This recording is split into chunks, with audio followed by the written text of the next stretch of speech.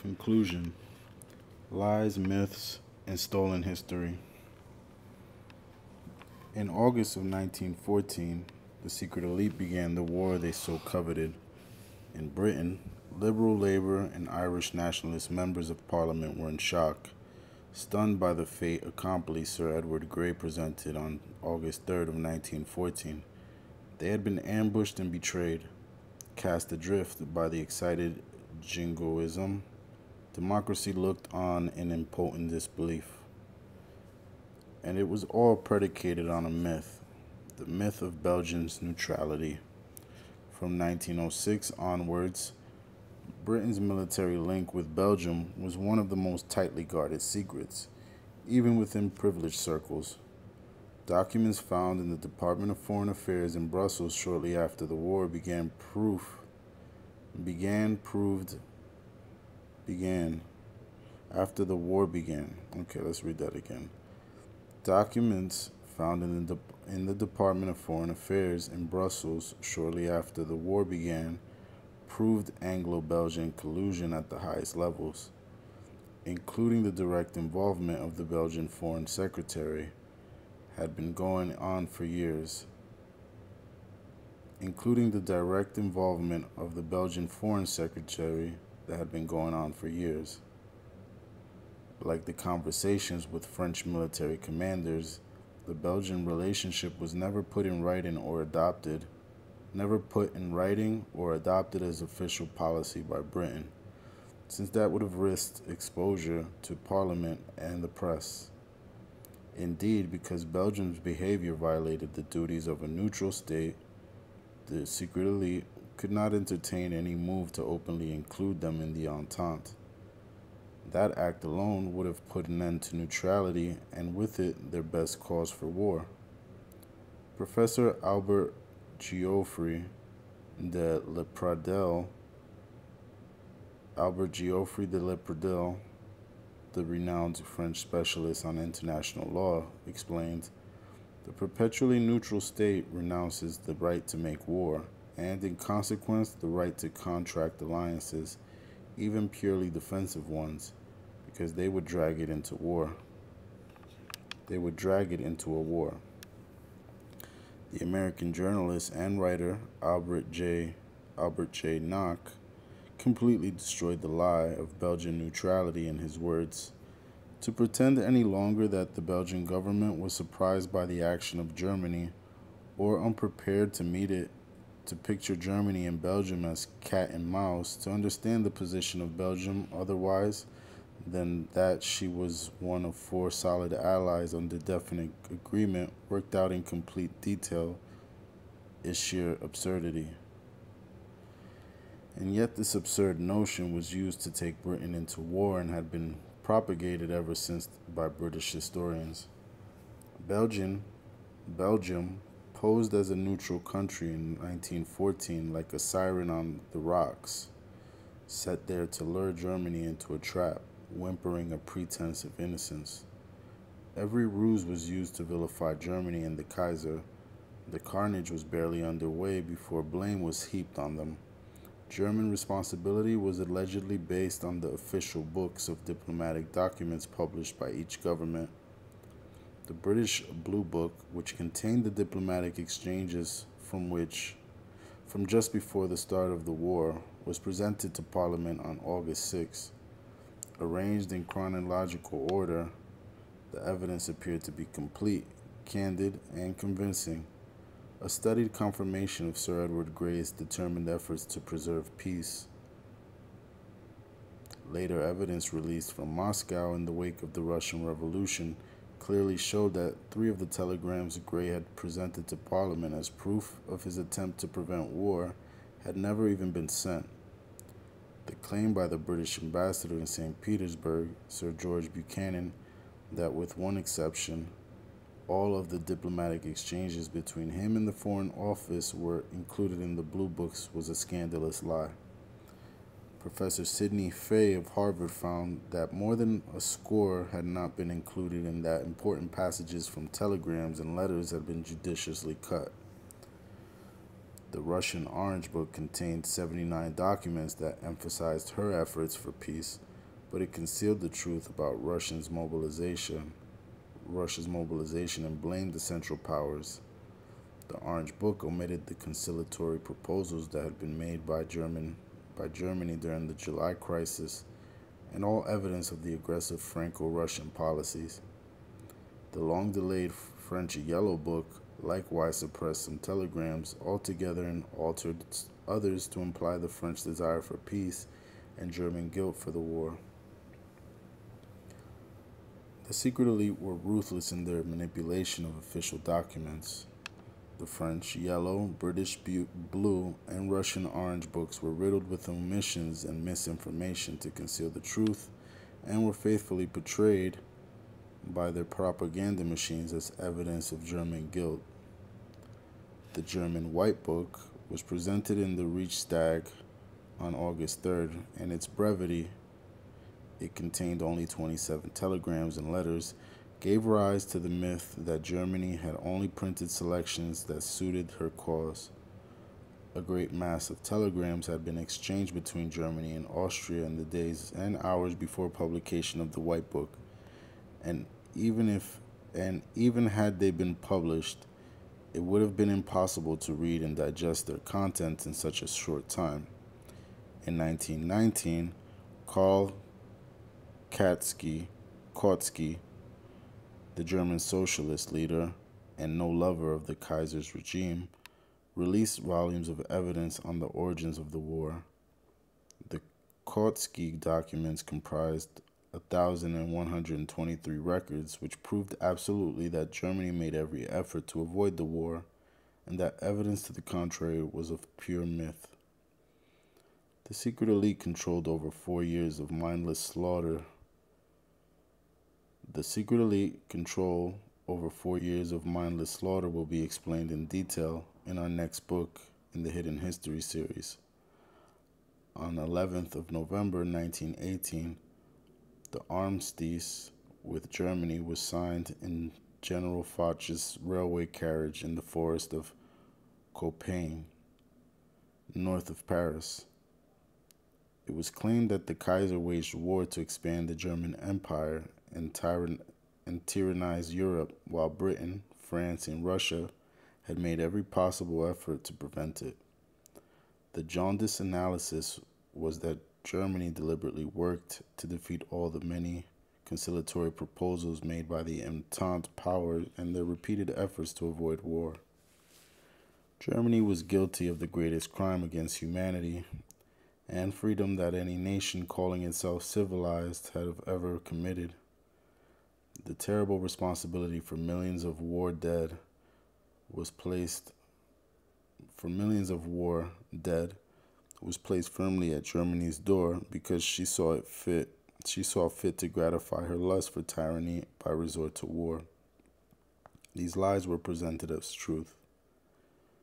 The secret elite mobilized all the resources at their command, including universities, the press, the pulpit, and the whole machinery of government to preach this false gospel of guilt. The Kaiser and Germany were vilified.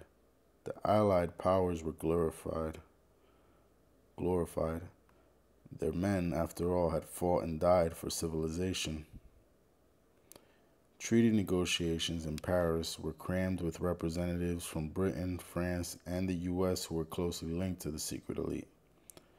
The few German delegates permitted to attend Versailles asked for proof of Germany's alleged guilt, but were denied it. In truth, none existed. They asked for an independent investigation into the responsibility for war, but were denied it. They asked for a nonpartisan commission to examine the archives of all the warring nations and to question the principal leaders, but were denied. No defense was permissible. On the 28th of June 1919, the formal peace, the formal peace, peace treaty was signed in the Palace of Versailles. It had taken the secret elite exactly five years from the murder of in Sarajevo to achieve their aim. The German delegates were obliged to sign Article 231, accepting all blame. The Allied and associated governments affirm and Germany accepts the responsibility of herself and her allies for causing the loss and damage to which the Allied and associated governments and their nationals have been subjected as a consequence of the war imposed upon them by the aggression of Germany and her allies. By signing, Germany acquiesced, acquiesced and accepted sole responsibility for the First World War. A starving, desperate nation had been confronted with the choice of admitting her guilt at once or suffering an Allied occupation, with every likelihood that an admission of guilt would ultimately be extorted in any case. Professor H. E. Barnes stated Germany occupied the situation of a prisoner at the bar, where the prosecuting attorney was given full leeway as to time and presentation of evidence, while the defendant was denied counsel or the opportunity to produce either evidence or witnesses. The lies, vindictive reparation schemes, and headline grabbing assertions continued long after 1918 in order to protect the real culprits in this crime against humanity and conceal the truth from the world. In this groundbreaking book, The Anglo American Establishment, Professor Carroll Quigley dared to reveal how the secret elite continued their malicious influence and controlled the manipulated controlled and manipulated the truth through their triple front penetration of politics, the press, and education.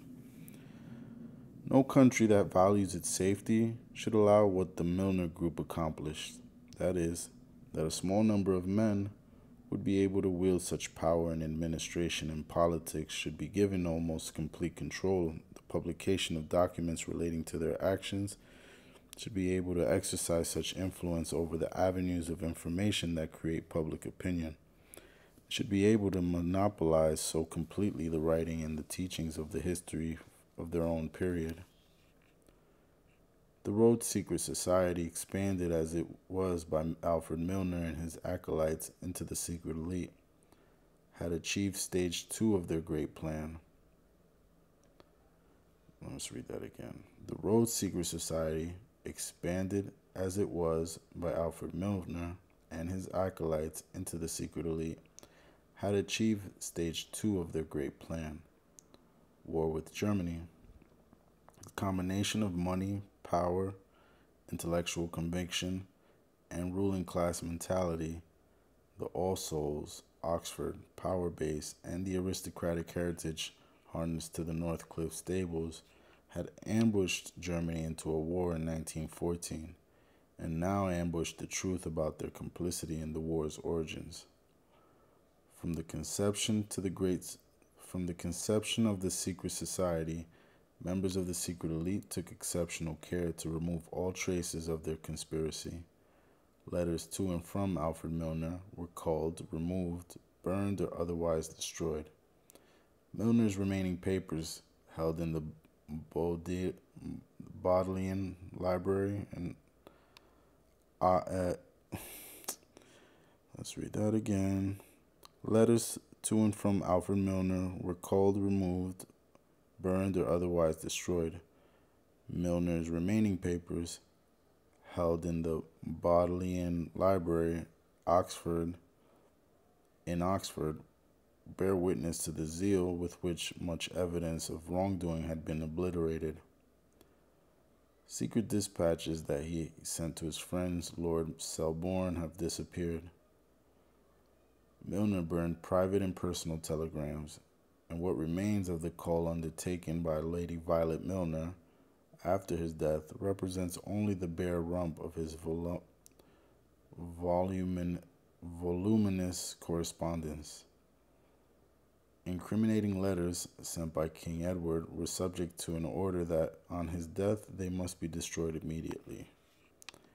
Admiralty Jackie Fisher noted in his memories that he had been advised by Lord Knollys, the king's private secretary, to burn all letters sent to him by the king. Fisher consequently burned much of his royal correspondence, but couldn't bear to part with it all. Lord Nathaniel Rothschild likely ordered likewise ordered that his papers and correspondence be burned posthumously, posthumously, lest his political influence and connections became known. As his recent biographer commented, one can but wonder how much of the Rothschilds' political role remains irrevocably hidden from posterity. That is exactly what they tried to do hide their role in causing the First World War from posterity. If anything, the systematic conspiracy of the British government to cover all traces of its own devious machinations was far worse and utterly inexcusable. Even if we assume that the surviving records of the committees of imperial defense were accurate, what remains tells us more about what is missing. Cabinet records of July 1914, covering the 4th to the 21st, relate almost exclusively to Ireland. Discussion about the Balkans? None. Belgium? None. No paper appeared that weighted concerns and consequences of a German invasion of Belgium. It had to appear that this conundrum had suddenly been sprung on Britain. Sprung on Britain.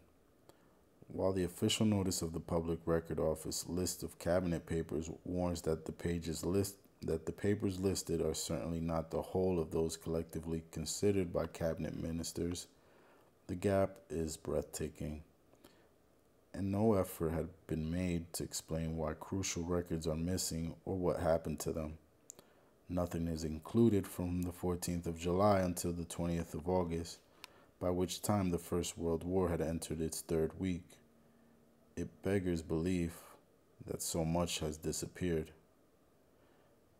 been destroyed, burned, or not been kept for whatever reason. In fairness to the librarians and custodians of the Public Record Office, they could only catalog what was passed to them from the Cabinet Office, the Foreign Office, the War Office, and the, colon- the Colonial Office. The British public has a right to know the full extent of what has been secretly retained, hidden, or gone missing. In the early 1970s, the Canadian historian Nicholas D'Ombrain began researching War Office records. He noted, The registry files were in a deplorable condition, having suffered the periodic ravages of the policy of weeding. One such clearance was in progress during my foray into these files, and I found that my material was being systematically reduced by as much as five sixths. Astonishingly, a large amount of sensitive material was actually removed as the researcher went about his business. Where did it go? Who authorized its removal?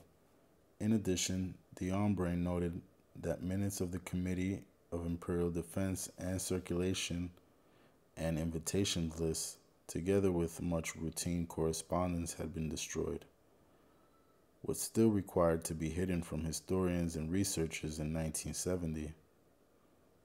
What's still required to be hidden from historians and researchers in 1970? That D'Ombrain found five sixths of the total files melting away in front of him demonstrated clearly that others still retained a vested interest in keeping the evidence of hidden of history hidden. Official memoirs covering the origins of the First World War were carefully scrutinized and censored before being released. Sir Edward Grey's 25 years is an appalling excuse for a record of fact, and the convenience of his failing memory rings hollow. Lloyd George's war memoirs naturally center on himself but contain pieces that suggest censor's, a censor's pen. Instead of detailing the help he received from Lord Rothschild at the very start of the war, Lloyd George restrained his comment to it was done, leaving the reader to wonder precisely what it was. Ambassador Sir George Buchanan's memoirs, My Mission to Russia and Other Diplomatic Memories, contained information too revealing for publication.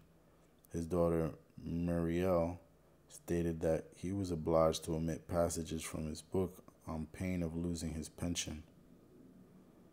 Utterly unacceptable as this is, in the light of the lies that had been purveyed as history, it is surely of even greater concern that Carroll Quigley pointed an accusing finger at house at those who monopolized so completely the writing and the teachings of the history of their own period.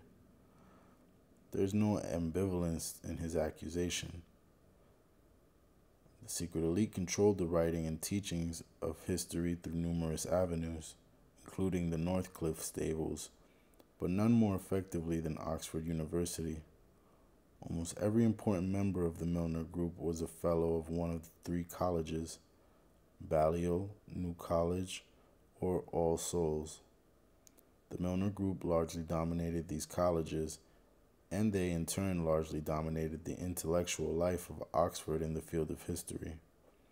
The influence of the Milner Group at Oxford was so powerful that it controlled the Dictionary of National Biography, which meant that the secret elite wrote the biographies of its own members. They created their own official history of key members for public consumption, striking out any incriminating evidence and portraying the best public spirited image that could be safely manufactured. The immediate advantage lay with the victors, and they ensured that their voluminous histories carried the message that the Great War had been Germany's responsibility. Kaiser Wilhelm, viciously misaligned by the secret elite, abdicated on the 28th of November 1918 and went into exile in Holland. His memoirs, published in 1922, strongly defended Germany's innocence. For years, few believed Wilhelm's protestation, protestations, but the steady release of documents from Russia and Germany in the 1920s drew others to question the official evidence. American historians began to pay closer attention to the war's origins, including Sidney Bradshaw, Fay, professor of history at Harvard and Yale. He published articles in 1920 that led to demands for a revision of the Versailles War guilt conclusion. Fay's masterly twin volume, The Origins of the of the of the World War, first published in 1928, was matched by another powerful denunciation of the lies, The Genesis of the World War, by Harry Elmer Barnes, professor of history at, a, at the prestigious Columbia University. It went deeper and further than Professor Fay's work in supporting Germany. But, like Carroll Quigley's History, Tragedy, and Hope, it was suppressed. Barnes explained, A major difficulty has been the unwillingness of booksellers to co- to cooperate, even when it was to their pecuniary pecuniary advantage to do so. Many of them have assumed to censor their customers' reading in the field of international relations, as in the matter of morals. Not infrequently have booksellers even discouraged prospective customers who desire to have the genesis of the World War ordered for them. Booksellers unwillingly to unwilling to sell books? That was surely an unusual situation unless of course other influences powerful moneyed influences wanted to restrict the circulation and squeeze the life from such work barnes expanded the historic debate by inviting german and austrian politicians who played key roles in july of 1914 to provide eyewitness evidence for a special edition of the New York Times Current History magazine in July of 1928. The result was a fierce rejection of German war guilt.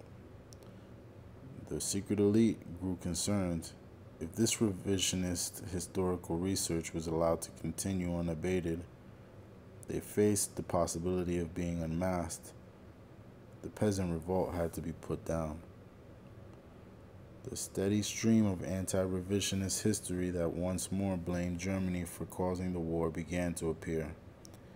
In 1930, American historian Professor Bernadotte Smith, who had studied at Oxford, published The Coming of the War in 1914. His work was heavily biased against Germany and reaffirmed her war guilt. Smith was awarded the Pulitzer Prize and, fittingly, the George Louis Beer Prize from the American History Association. Beer was specifically named by Professor Quigley as a member of the American branch of Rhodes Secret Society. Was it simply a coincidence that Smith had been a Rhodes Scholar and was consequently awarded a major honor in memory of Rhodes' devotee, who was the American correspondent for Milner's Roundtable Journal? One year later, Professor M. H. Cochran of the University of Missouri demolished Smith's work. Among other things, he proved that it contained major errors and used false methodology to uphold the fantasies of 1914. He demonstrated that Smith's book was an appalling attempt, clothed in the elaborate trappings of scholarship, to uphold with pro British bias the Entente myth which mountains of objective historical evidence had discredited since 1920. In 1961, Fritz Fischer, professor of history at Hamburg University, rocked the academic world with his book Germany's Aim in the First World War. He presented selected evidence from German archives to prove Germany had indeed deliberately abused the Archduke's assassination and the July crisis as an excuse to go to war. Here surely was the final proof. German fault proven by a German historian. The Times immediately sang the praises of Fischer's book in the literary supplement. A brilliant example of history written from the original records, it is by far the most comprehensive study of its subject yet produced, and startling as some of its conclusions must at first appear, it seems unlikely that they can be seriously challenged in view of the weight of the evidence. The book helped suppress the truth for decades, but in 2006, Marc Trachtenberg, professor of political science at the University of California, demolishes Fischer's thesis Amongst other elementary errors, Fischer had distorted and misrepresented documents and paraphrased conversations that did not correspond to the actual wording. Although now widely accepted as highly suspect, Fischer's thesis continues to receive support in Britain. Among others who had recently held it up as sound history is Hartmut Pogge von Strandmann, professor of modern history at Oxford Professor von Strandmann was a student of Fischer before he moved to Oxford in the in the 1960s as research fellow and junior dean at Balliol College. The Oxford link goes on forever, goes on, goes ever on. The Oxford link goes ever on. Norman Stone, one of von Strandmann's professional pre- predecessors between 1984 and 1997, wrote, Prince Princip stated if I had not done it yet. I had not done it. The Germans would have uh, would have would have another excuse. In this, he was right. Berlin was waiting for the inevitable accident. Sir Hugh Strachan, Strachan Chichele, professor of the history, Chichele, professor of the history of war at Oxford and a fellow of All Souls, also absolved Britain and France of blame. His conclusion was that for those liberal countries struggling to defend their freedoms against Germany, the war was far from futile. With reference to Poincare, Professor Strachan wrote, he firmly believed that the solidarity of, the solidarity of the alliance system in Europe helped create a balance which prevented war. The Oxford Don added, the original purpose of the Anglo French Entente of 1904 was not to create a united front against Germany, but to settle the two powers' long standing imperial rivalries in North Africa. The Kaiser had little interest in Morocco, but he was anxious to disrupt the Anglo French Entente. No mention here of the secret clauses that they hid. No mention either of Poincare and Poincare the Revanchist or his blatant anti German outbursts. A.J.P. Taylor, a fellow of Magdalen College and lecturer in modern history at Oxford from 1938 to 1963, was a prolific and popular historian from the 60s until his death in 1990. He was a classroom guru. Virtually every school course in modern history in the land used A.J.P. Taylor's texts when he decided that it was not true to claim that mobilization means war, then that was what was learned as fact. No matter the evidence from Russia, from France, or from the waves of diplomatic telegrams warning them to mobilize in secret. In like vein, Sir Michael Howard, formerly Chichele's professor of the history of war at Oxford, Fellow of All Souls, and Emeritus Professor of Modern History at Oxford, denied the automatic implication of mobilization, claiming that Russian mobilization gave her gave Germany the excuse. So the mobilization of between 1 and 2 million Russian soldiers on Germany's border was simply an excuse for her to go to war, a war on two fronts that had, that she had desperately striven to avoid. Little evidence was offered by either of these learned authorities. They spoke ex cathedra, pronouncing the verdict of Oxford on the causes of the First World War like medieval popes, and God helped the student that questioned their divine bull. The message has been made clear. Blame Germany. It is our opinion that modern histories of the First World War should be treated with critical caution, especially those that have emanated from Oxford University, the spiritual home of the secret elite. In the Brit in Britain generally, diaries and memoirs have been censored and altered, evidence sifted, removed, burned, carefully selected, and falsified. Bad as this is, it is of relatively minor importance compared to the secret elite's outrageous theft of the historical record from across Europe. In the immediate post-war years, in the immediate post-war years, hundreds of thousands of important documents pertaining to the origins of the First World War were taken from their countries of origin to the west coast of America and hidden away in locked vaults at Stanford University. The documents, which would without doubt have exposed the real perpetrators, had to be removed to a secure location and hidden from prying eyes. A 45 year old mining engineer, Herbert, Herbert Clark Hoover, was the secret elite agent charged with the mammoth task of removing incriminating documents from Europe during the war, Hoover played a major role for the secret elite in operating an emergency food supply organization that was allegedly created to save starving Belgian civilization civilians. In reality, the Commission for Relief of Belgium had a much more sinister motive that will be revealed in our next book. An American by birth, Herbert Hoover worked in an Arizona mine owned by the Rothschilds. His geological surveys won high praise, and he came to the attention of Rothschild's mining experts. Sent in 1897 to manage Australian gold mines, Hoover proved himself ruthless.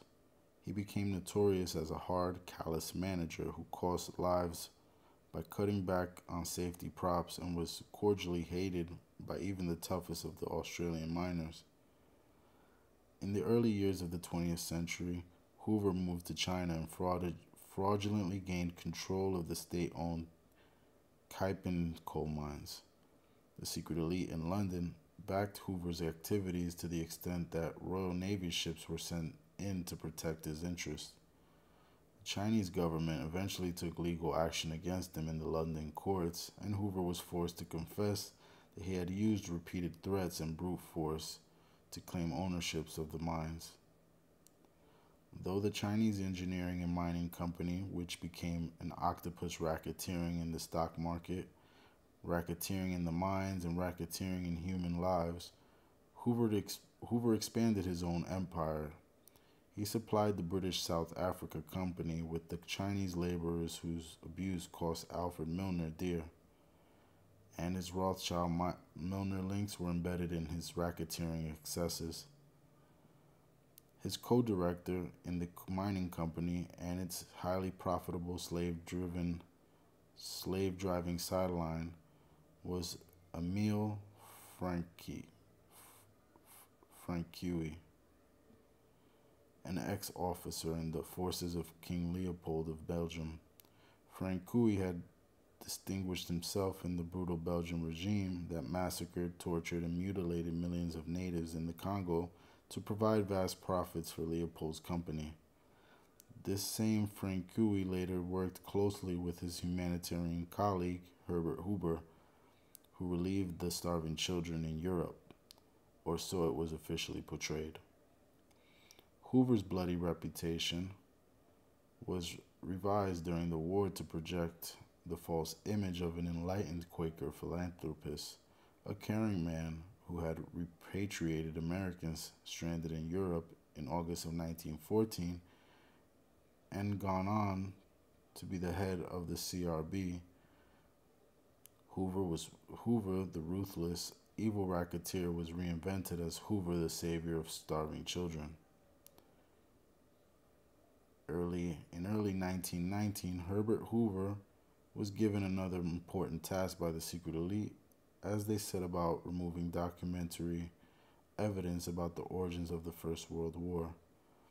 They reinvented him again, this time as a scholarly individual who loved books and wished to collect manuscripts and reporting and reports relating to the war because they would otherwise easily deteriorate and disappear. No government gave official sanction to this removal of historical artifacts. It was theft dressed as a philanthropic act of preservation for the use of future historians. Indeed, like the thief in the night, stealth was the rule of thumb. On the basis that it was kept entirely confidential, Ephraim Adams, professor of history at Stanford University, a close friend of Hoover's from their student days, was called to Paris to coordinate the great heist and dress it in a cloak of academic respectability. Hoover donated $50,000 to the project, recruited a management team, of young scholars from the American Army and secured their release from military service. His team used letters of introduction and logistical support from Hoover to collect material and establish a network of representatives throughout Europe.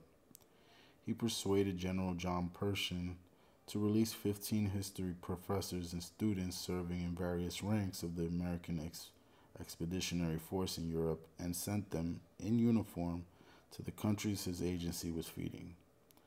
With food in one hand and reassurance in the other, these agents faced little resistance in their quest.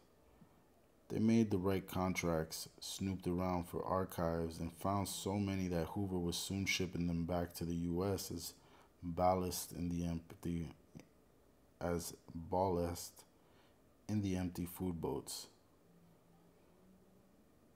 Hoover recruited the additional 1,000 agents. Hoover recruited an additional 1,000 agents whose first haul amounted to 375,000 volumes of the secret war documents of European governments. Hoover's $50,000 donation would have paid for around 70 of these agents for a year. And it has not been possible to discover from which sources he funded the other 930. Most likely, they were American or British military personnel released to Hoover under the direct orders of the secret elite, in which case the ultimate source of their funding was the British and U.S. taxpayer. Hoover's backers believed that there would only be 10 years within which the most valuable material could be acquired, but it could take a thousand years to catalog it the collection was accelerated to a frenzied pace. Frenzied pace. They were primarily interested in material relating to the war's origins and the workings of the Commission for Relief of Belgium. Other documents relating to the war itself were ignored. The secret removal and disposal of incriminatory, incriminatory British and French material posed little or no problem for the secret elite and surprisingly, once the Bolsheviks had taken control, access to Russia documents, Russian documents proved straightforward. Professor Milyukov, foreign minister in the old Kerensky regime, informed Hoover that some of the Tsarist, Tsarist archives pertaining to the origins of the war had been concealed in a barn in Finland. Hoover later boasted that getting them was no trouble at all. We were feeding Finland at the time. The secret elite thus took possession of a mass thus took possession of a mass of evidence from the old Tsarist regime that undoubtedly contained hugely damaging information on Sarajevo and Russia's secret mobilization. Likewise, damning correspondence between Sazonov and Izvolsky in Paris and Sazonov and Hartwig in Belgrade had been lost to posterity. As shown in Chapter 19, the Russian diplomatic papers from 1914 revealed an astonishing gap. Ambassador Hartwig dispatches from Belgrade for the crucial period between May and July of 1914, when the decisions on Franz Ferdinand's assassination were being finalized, were being were removed from the archives of the Russian Foreign Ministry by an unknown person. These were documents of momentous importance that would have changed forever the myth of Sarajevo. It might at first appear strange that the Bolsheviks cooperated so willingly by allowing Hoover's agents to remove 25 carloads of material from Petrograd. According to the U- the Ameri- according to the New York Times, Hoover's team bought the Bolshevik documents from a doorkeeper for $200 cash, but there were darker forces at play that we will examine at a later date. The removal of documents from Germany presented few problems. Fifteen carloads of materials were taken, including the complete secret minutes of the German Supreme War Council. A gift from Friedrich Ebert, first president of the post war German Republic, Hoover explained that Ebert was a radical with no interest in the works of his predecessors, but the starving man will exchange even his birthright for food.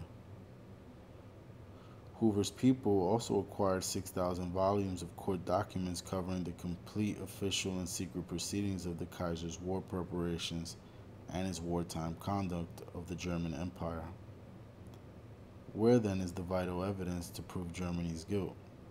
Had there been proof, it would have been released immediately. There was none. Possession of the German archives was especially crucial since they would have proved conclusively to the world that Germany had not started the war. By 1926, the Hoover War Library was so packed with documentary material that it was legitimately described as the largest in the world dealing with the First World War. In reality, this was no library. While the documents were physically housed within Stanford, the collection was kept separate, and only individuals with the highest author- authorization and a key to padlock were allowed access. And a key to the padlock were allowed access.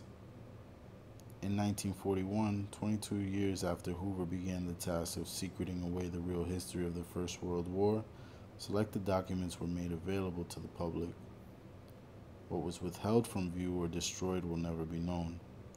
Suffice to say that no First World War historian had ever produced or quoted any controversial material housed in what is now known as the Hoover, as the Hoover Institution on War, Revolution, and Peace. Indeed, it is a startling fact that few in any war historians that few and any war historians have ever written about the solicit theft of European documents to America, documents that relate to arguably the most crucially important event in European and world's history. Why? Before his death in 1964, Hoover reflected that the institution had to constantly and dynamically point the road to peace, to personal freedom, to private enterprise. His words betray an Orwellian doublespeak, a contradiction conjured from the past by the rewriting of history. To him and his ilk, black as white, war was peace. To him and his ilk, black was white, war was peace. Personal freedom was restricted to rich, white Anglo Saxons, not men of Chinese origins, such as those he sold into slavery, or the black people his good friend Francqui mutilated and butchered in the Congo. Frank Coué mutilated and butchered in the Congo. Private enterprise was the obscene profits they made from such atrocities. It was the language of the secret elite. What this hidden history has revealed is not reflected in British historical writing. Perhaps one day it will be. What is taught in classrooms and lecture halls bears no resemblance to the narratives in this book. Some historians have worn a straitjacket limited by their willingness to go no further than the historical evidence provided by departments of state, government reports, selected documentation, officially sanctioned histories, and well cleansed memoirs. Those who consider that the only true history is that which can be evidenced to the last letter necessarily constrain their own parameters. The individual who attempts to climb a mountain by taking only the given pathway may well discover that far from reaching the summit, he or she has become a cross country runner, moving between markers deliberately set to confuse. Ian Bell, the renowned Scottish journalist, wrote recently What is known has been said. What is known has to be said. What happened has to be faced. History, the baffling mess, has to be confronted. When you fail in the duty of truth, malevolence fills the vacuum. The evidence for the miserable proposition has been accumulating for generations. After a century of propaganda, lies, and brainwashing about the First World War, cognitive dissonance renders us too uncomfortable to bear the truth that it was all a, that it was a small socially advanced, advantaged group of self-styled English race patriots, backed by powerful industrialists and financiers in Britain and the United States, who caused the First World War. The determination of this London-based secret elite to destroy Germany and take control of the world was ultimately responsible for the deaths of millions of honorable young men who were betrayed and sacrificed in a mindless, bloody slaughter to further a dishonorable cause. Today, tens of thousands of war memorials in villages, towns, and cities across the world bear witness to the great lie, the betrayal, that they died for the greater glory of God and that we might be free. It is a lie that binds them to a myth. They are remembered in empty roll calls erected to conceal the war's true purpose. What they deserve is the truth and we must not fail them in that duty.